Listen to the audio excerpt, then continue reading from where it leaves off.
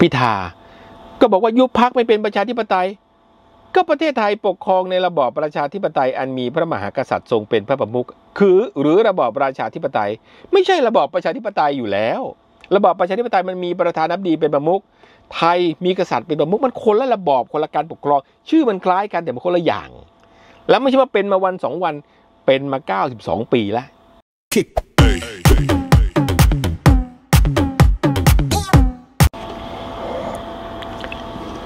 วัสดีครับ มาพบกับผมเทิดศักดิ์เจียมกิจวัฒนาครับ วันนี้ก็สวัสดีหุ้นส่วนฮะที่รับชมทุกแพลตฟอร์มของสำนักข่าววิหกนิวส์นะครับวันนี้ประเด็นที่น่าสนใจ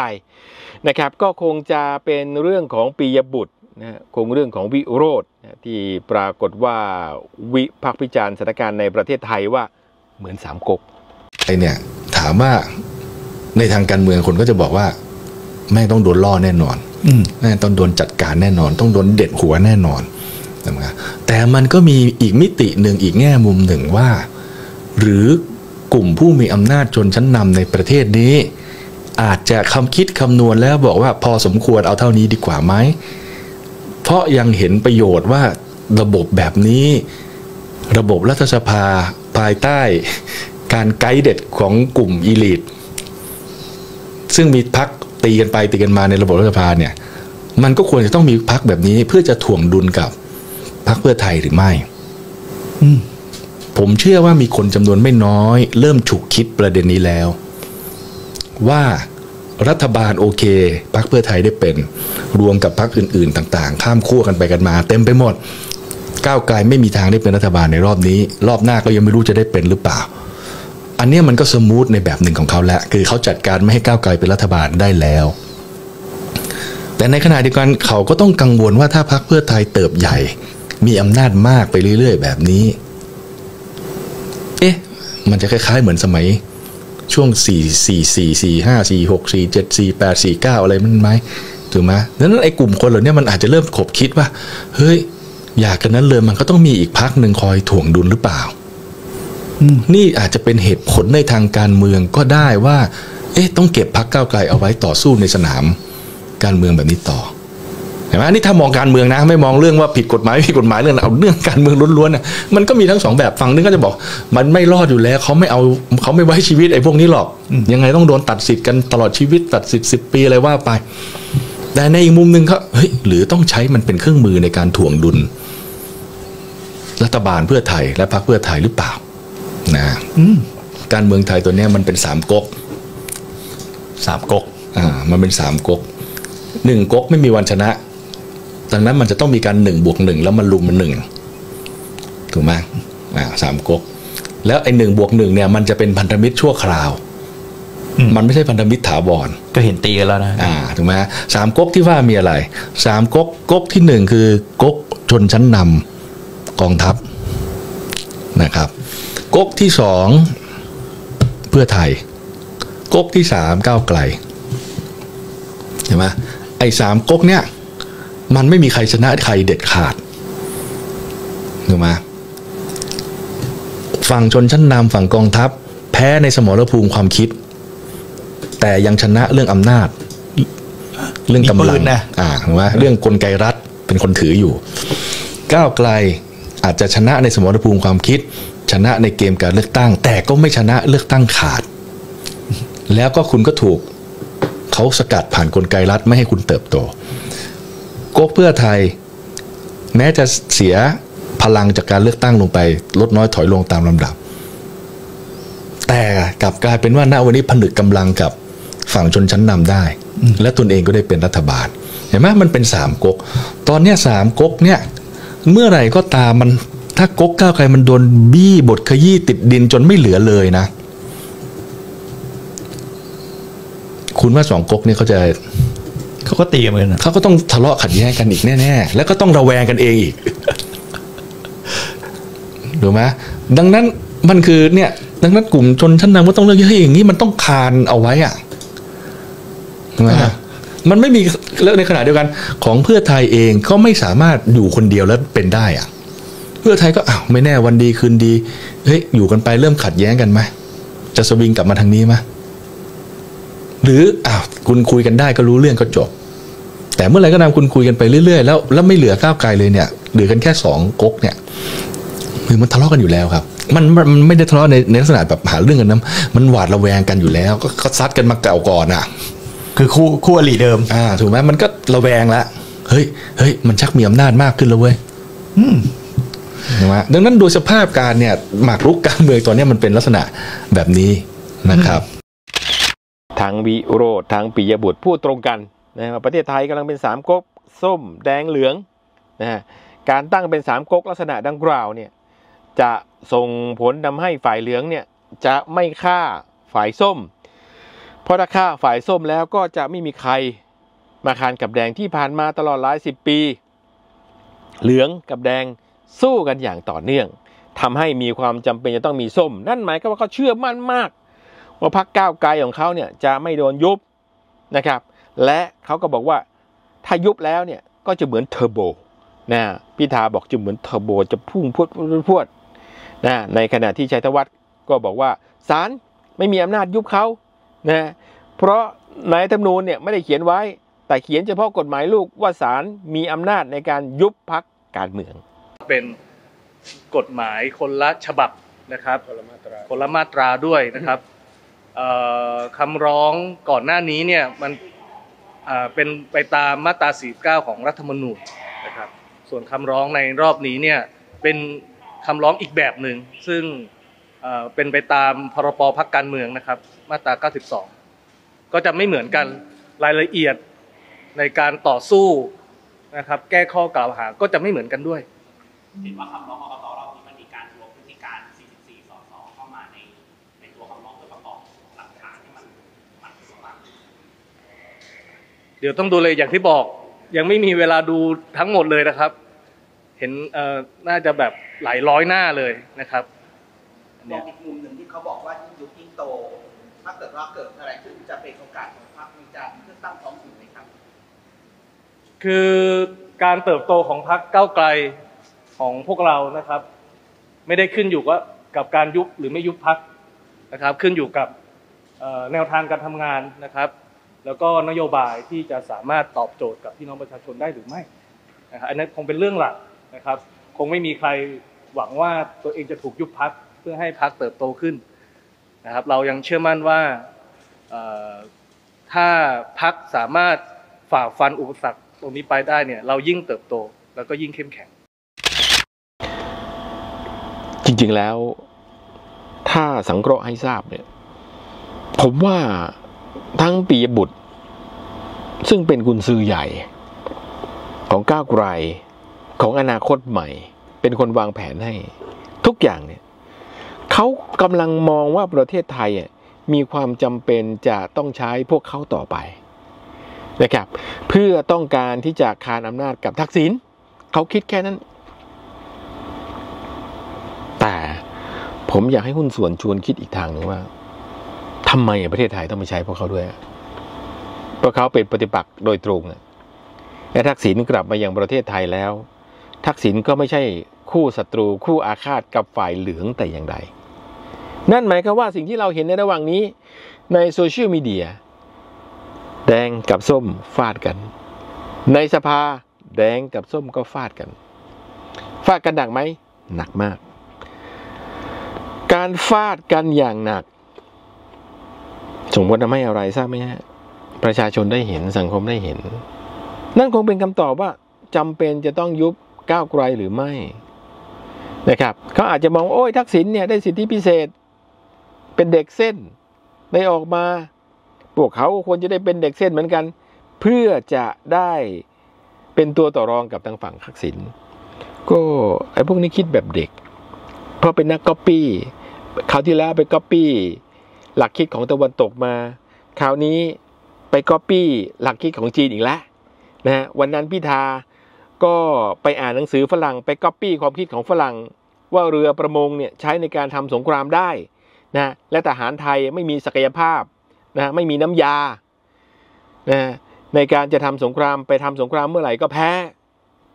ซึ่งมันคนละเรื่องเลยนะฮะ ในเชิงยุทธศาสตร์ทางการเมืองการปกครอง ส้มมีความจำเป็นไม่มีความจำเป็นแล้วผมยกตัวอย่างที่ไหนฮะฮ่องกงฮ่องกงก็ทำยังไง ม็อบสามนิ้วที่เกิดขึ้นในฮ่องกงไม่สามารถเข้ามาเกี่ยวข้องกับเรื่องของการเมืองได้คือถือว่าเป็นปฏิปักษ์ต่อการปกครอง คุณต้องการเป็นประชาธิปไตยใช่ไหมคุณออกนอกประเทศไป คุณต้องการเป็นประชาธิปไตยไหมถ้าทำผิด ถูกดำเนินคดีไป คุณไม่สามารถเข้ามาทำการสมัครได้เลย โดยคณะกรรมการการเลือกตั้งของเขาไม่ให้เข้าสมัคร ขาดคุณสมบัติ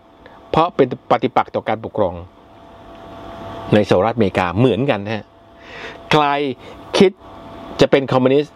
เขาไม่ให้สมัครเลย เขาต่อต้านเลย ในจีนก็เหมือนกัน ในฝรั่งเศสก็เหมือนกัน ในรัสเซียก็เหมือนกัน ใครเป็นปฏิปักษ์ต่อการปกครองนะเขาไม่ให้เข้าสู่ระบบการเมืองเลย ตอนเนี้ยช่อออกมาบอกชื่อออจะร่วมกันมาช่วยกันบวชสองพันห้าไล่ไปไล่มาก็จะให้มาโหวตพวกตัวเอง เป็นสวเดี๋ยวทำคลิปอีกคลิปหนึ่งอธิบาย มันเป็นการโกงทางการเมืองชัดๆนะครับ นี่คือหลักคิดนะครับ ถ้าคนเหล่านี้ไม่ได้อยู่ในอำนาจ ไม่อยู่ในระบบการเมืองก็จบ ความวุ่นวายก็ไม่เกิดขึ้น ทุกวันนี้เพราะระบบระเบียบระบอบของไทย มันเปิดทางให้คนเหล่านี้เข้าสู่กระบวนการทางการเมือง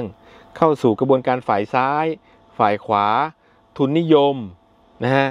คนรุ่นเก่า คนรุ่นใหม่ คนแก่คนหนุ่มสีต่างๆ เพราะโครงสร้างการปกครองและรูปแบบการปกครองมันเอื้ออำนวย ผมว่ารอบจากนี้ไปเนี่ย ถ้าเกิดการเปลี่ยนแปลงอยากฉับพลันเกิดขึ้นเนี่ย ไม่รู้จะเปลี่ยนวิธีไหนนะ ผมว่ามันคงไม่เหมือนเดิมอะสิ่งที่เขาคิด สิ่งที่เขาฝัน สิ่งที่เขาไปก๊อปปี้มา สิ่งที่เขาไปจินตนาการอ้างเหมือนฝรั่งขึ้นมาต่าง ๆ เนี่ย ผมว่ามันคงไม่เป็นจริงอะมันคงจะเป็นอีกอย่างหนึ่งนะบางคนว่าจะเกิดการกวาดล้างเกิดขึ้นไหม ผมก็ว่ามีความเป็นไปได้สูงอะนะไอ้พวกปากดีไม่มีกำลัง จำได้ไหมฮะพิธา วันลงสมัครมั่นอกมั่นใจ ต้องจัดการหนึ่งหนึ่งหนึ่งสองเอาประเด็นหนึ่งสองมาหาเสียง สถาบันพระมหากษัตริย์ก้าวไปพูดในสภาเลย จะต้องอยู่ในที่ที่เหมาะสม เรียกข้าราชการนะฮะทั้งตำรวจทหารสมาคม การหอการโค้งการค้า ผู้ว่ากทมเรียกประชุมเลย ลงสัตยาบัน นะแล้วประกาศไปต่างประเทศบอกผมนี่เป็นนายกรัฐมนตรี โอ้ว่าสุดท้าย ตอนนี้สั่งเสียละเห็นไหมการเมืองไทยมันลึกซึ้งสลับซับซ้อนปิยบุตร ที่ทำงานให้กับธนาธรเรารู้ได้ไงพวกนี้ทำงานธนาธร ก้าวไกลอนาคตใหม่อยู่เหมือนกัน อยู่ที่ทำการเดียวกันบริษัทเดียวกัน ธนาธรเป็นเจ้าของบริษัทของเขานะฮะหลักคิดที่ว่าประเทศไทยเป็นสามก๊กประเทศไทยไม่ได้เป็นสามก๊กมันจบไปนานแล้วสามก๊กอะนะก๊กที่หนึ่งเขาก๊กถินฮะก๊กทักษิณก๊กที่สองก๊กลุงตู่ลุงตู่ไม่อยู่ละ หายไปแล้วหนึ่งก๊กตอนนี้เหลือก๊กเดียว แดงกับส้ม ทักษิณเข้ามาก็ต้องแสดงผลงานแสดงศักยภาพ ถ้ามีผลงาน มีศักยภาพเขาคงใช้อยู่ แต่ถ้าไม่มีผลงานเข้ามาไม่ทำอะไรเลยนะฮะโชว์เลี้ยงหลาน โชว์ไปแสดงศักยภาพที่พักการเมือง แล้วเขาจะไปเลี้ยงทักษิณไว้ทำไมอะนะไม่มีความจำเป็นกลับไปอยู่ที่คุกเหมือนเดิมดีกว่านะครับ ซึ่งสิ่งเหล่านี้กำลังเกิดขึ้นนะ ความคิดของเปียบุตรเป็นความคิดของเด็ก นะครับ มันจะทำได้ในครั้งแรกเป็นทฤษฎีเรดการ์ดนะอ้างดิโมซีถ้าเทียมเสมอภาคเป็นประชาธิปไตยนะฮะสุดท้ายเป็นไงฮะก็เป็นอย่างที่เห็นนะก็เป็นหลักคิดเสื้อแดงก็ทำมาก่อน ถ้าเทียมเสมอภาคยุติธรรมประชาธิปไตยเหมือนเดิมนะฮะอ้างอัตโดิโอกัมชี่กัมชี่กัมขี้กัมเยี่ยวเนี่ยสุดท้ายเป็นความคิดของฝรั่งมันคนละเรื่องพระดาพระดาดอนภาพเสรีภาพเนี่ยมันไม่ใช่หลักการปกครองของไทย หลักการปกครองของไทยคือระบอบราชาธิปไตย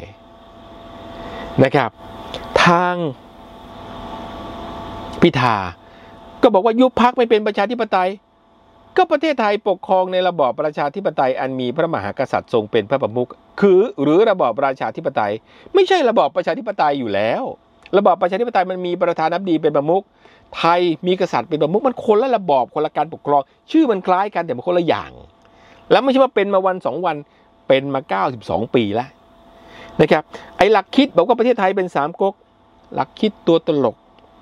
นะครับหลักคิดของเด็กที่กำลังเข้ามาสู่วงการการเมือง และคิดว่าหลักคิดเชิงยุทธศาสตร์การเมืองแบบนั้น จะเข้าสู่กระบวนการเปลี่ยนแปลง ผมเรียนว่าสองทางเหมือนเดิม ไม่หนีก็ติดคุกนั่นเอง ขอบคุณที่บอกต่อขอบคุณที่แชร์ต่อขอบคุณที่เล่าต่อ ขอบคุณที่ร่วมสนับสนุนสถานี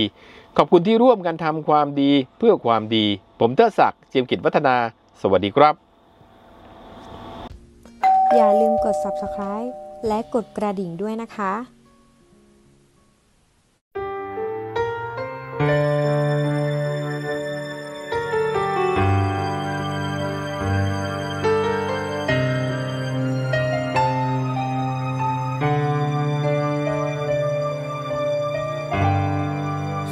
วันดอกรักจะบาน ในใจคนไทยทั้งพ้อง บทเพลงที่เราร่วมร้อง มันคงต้องมีความหมาย ไม่ได้มาต่อสู้ หรือเรียกร้องสิ่งใด แค่เพียงหวังในใจ อยากเห็นคนไทยรักกัน จึงขอเป็นตนกล้า บนพื้นดินแตกระแหงท่ามกลางความขัดแย้ง จะขอเป็นผู้แบ่งปันเพื่อรักยังคงอยู่ เราจึงมารวมกัน มือจับมือประสาน ใจเกี่ยวร้อยดวงใจ